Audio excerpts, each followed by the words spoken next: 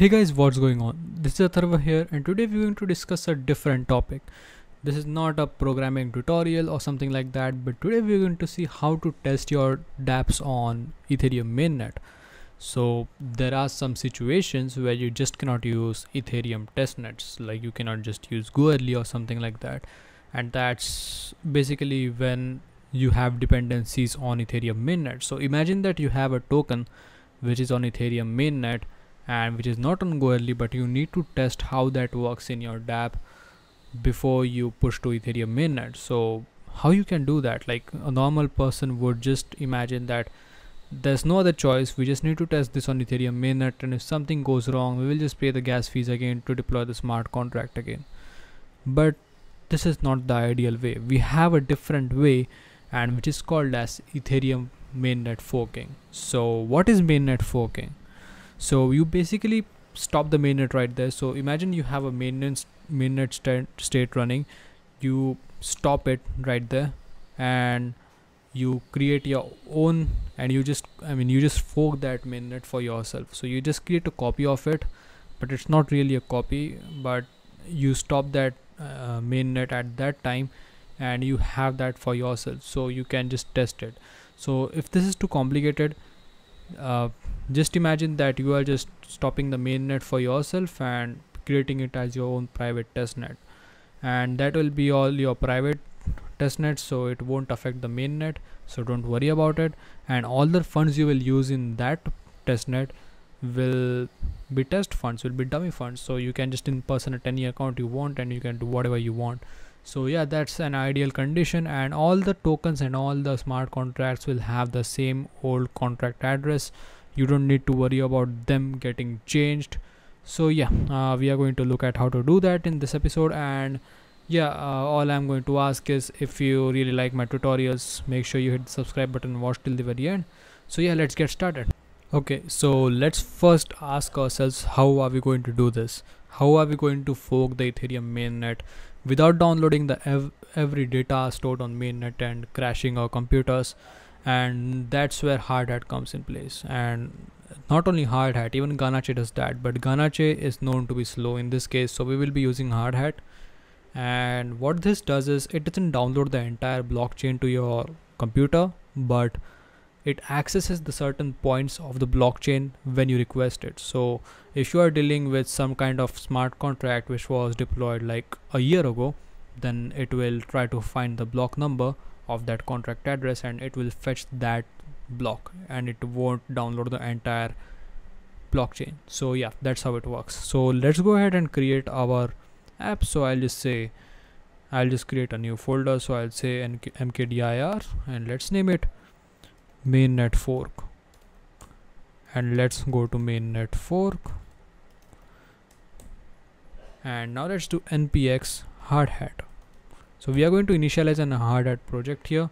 So I have tried doing this so uh, create an empty hardhat.config.js doesn't work for me for whatever reason. And a lot of tutorials on the internet a lot of articles a lot of videos tell to use this specific option but this has never worked for me and a lot of things on those tutorials didn't work for me. So just consider this as an updated tutorial. So I'll be just creating a basic sample project and I'll be pressing tab to use the same folder. Do I want to add Gitignore yeah sure. And let's install the dependencies. Perfect. Now depending on your system and internet connection this might take between 3 to 5 minutes. So I'll just skip this till it completes okay so this process is completed. Now we go ahead and open Visual Studio Code in this folder. So I'll say code dot and let's wait for VS Code to open. Perfect and now we don't need to touch any of that because we aren't deploying any smart contracts for this tutorial. But of course you would deploy some smart contracts right? So you can just do that right here and it will be seamless. So let's go to hardhat.config.js we have everything here. We don't need to touch anything. We just need to change the config. Now let's go ahead and add a new object here which is called as networks. And in networks we will have hardhat and here I believe we have forking. And in forking we have two things. First of all we have enabled which should be true.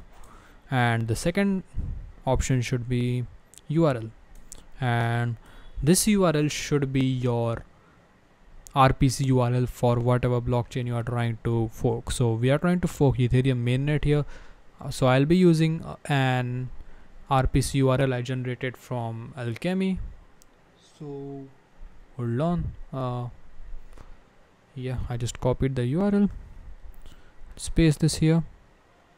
Perfect. And then we are going here and we are going to set a few things. So first of all this won't just work if you try to add it on metamask. It will give a lot of errors and it won't work. So for this tutorial we need to set the chain id to 1 which matches with ethereum mainnet. So yeah and yeah that's all i believe yeah. And now let's go to our terminal and let's do npx oh let's first clear the entire terminal. Let's have this clean.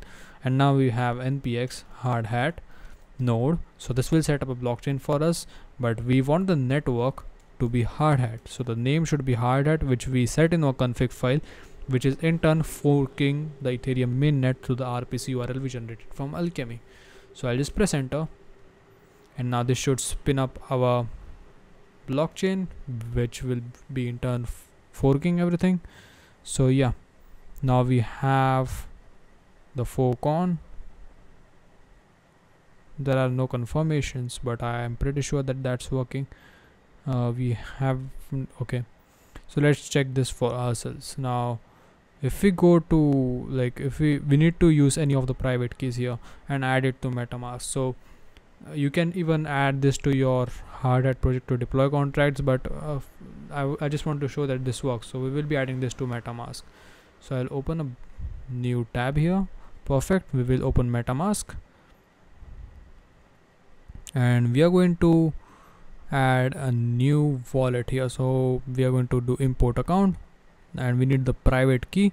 So we will just copy this private key. And please please please note that don't use this private key for production purposes because these are publicly known private keys. So any funds you send to this will automatically be stolen. So please don't use these.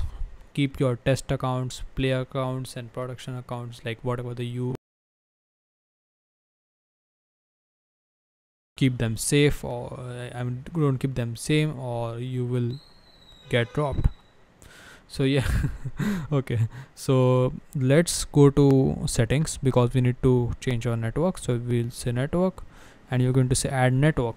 Now we are going to add a network here. So we're just going to say hardhat fork and the rpc url here should be the one we are gotten by here. So let's check here what's the rpc url so this is the rpc url so we're just going to copy this and we're just going to paste this. And the chain id should be 1 so in case you are not sure about the chain id you can just enter your anything else and you will see the return chain id here. So you can just enter 1 but we know that it's 1 so we'll just enter 1 anyways. The currency symbol should be eth so this gives an error but you can you just need to ignore it for now. So yeah let's just save this. And now yeah you see you have 10,000 ethereum. And we have 0 USDT now you can use this account wherever you want on any dApp. Like even you can just go ahead and use ENS if you want and that will still work. So yeah uh, let, let's go ahead and take the example of uniswap for example. So let's go ahead to uniswap. So yeah. And let's launch the app. Now this will is this connected to our hardhat fork? Yes. Now let's connect our wallet metamask. Yep we need account 3 yes.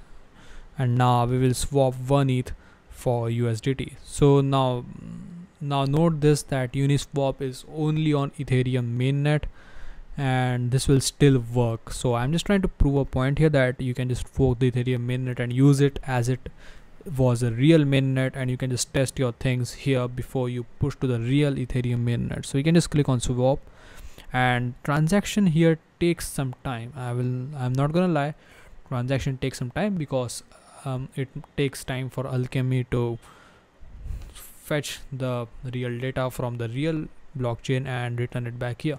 So sometimes it takes time sometimes it's fast. So yeah it says transaction submitted. Now let's uh, we won't be doing view on explorer because it will reflect on the main mainnet which which has nothing. Now let's go to our assets. And now we see that we have 1634 USDT which is pretty amazing that mainnet contracts are being called by our Ethereum mainnet fork now if we go back just for a proof if we go back to our Ethereum mainnet which is the real one we have nothing else. We have everything zero. So yeah that's how it works. Uh, the state is uh, after forking whatever we do can only be done on our end. So it's it's your basically your private testnet. So everyone stopped using ethereum suddenly and it's your own private testnet. So yeah sometimes it gives errors while uh, changing networks. So sometimes you might need to restart the um, the fork. But other than that it's pretty smooth. Like for now you see that there's some problem. And these problems are mainly caused by metamask. And let me tell you one more error. So sometimes you will face some nonce errors and i will tell you how to fix that. So let's go to hardhat fork. Let's hope yeah. Now that you restarted the fork everything is lost and everything is back to normal. So if you get nonce errors or if you get uh, unable to estimate gas you just need to go to settings just need to go to advanced and click on reset account. Now this won't delete any of your accounts but this will just reset the nonce because the chain id is matched with real ethereum mainnet so it's in sync with the real mainnet. So that's why you just need to do this once to fix it. Now yeah that's how you can do this.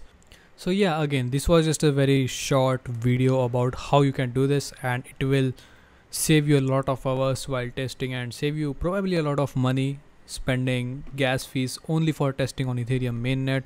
So yeah i hope this video was helpful to you because i was stuck in some problems so i needed to I needed to fork the Ethereum mainnet to solve the problem. And it was pretty confusing because if I go into hardhat documentation they were pretty good but sometimes there were errors which were which had no reference nowhere like even on Stack Overflow there were no answers so I just tried to mess around with the code and it somehow worked and that's how I did it like the way I showed in the video. So yeah i hope you liked the video and i hope you use this for some good way like creating smart contracts testing them. So we didn't cover smart contracts here but you can definitely use remix id or even hardhat itself to deploy on your ethereum mainnet fork and you can just try to test things out. So yeah that is it for this video guys. If you like this video make sure you click on the like button and subscribe button to show me some support. We are really close to 1000 subscribers and i really want to reach 1000 subscribers within one month. And that will be the happiest day of my life ever. So yeah make sure you subscribe the video and i'll see you guys in the next one. Bye